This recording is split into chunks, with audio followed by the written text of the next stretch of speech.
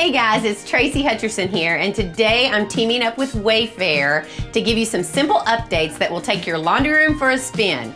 We're gonna start with this accent wall. Look at this beautiful pop of color that we added with some peel and stick wallpaper. I love this wallpaper because it's especially great if you're renting the space because then you can just take it down when you leave.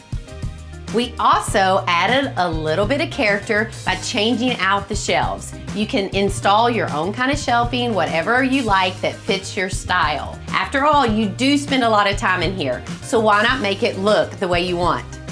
I love using baskets. I use tons of them all the time. And the reason I love them is because they hide all the ugly things. I love putting my cleaning supplies in one basket, maybe my detergent supplies in another one, and look, they even hide the ugly cords in the back.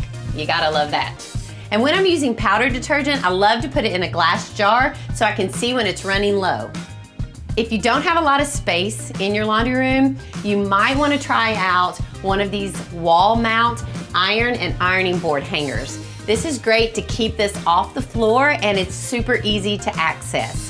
And another way that I like to save space in my laundry room is by using one of these hanging door hampers. This is great because it's easy to take from room to room and you might even be able to get your kids to help you do the laundry. All right, and the last thing I love to do to make my laundry room a place that I wanna be is I love to decorate it.